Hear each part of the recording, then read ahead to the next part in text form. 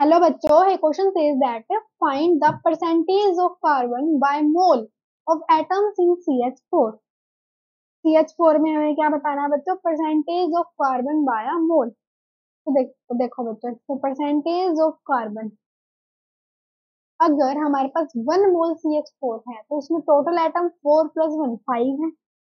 Four plus one five है. तो one by five percentage है तो मल्टीप्लाई विद हंड्रेड तो यहाँ से हमारा कितना आ जाएगा बच्चों? ट्वेंटी परसेंट राइट आंसर होगा बच्चों twenty I hope you all understood it well all the very best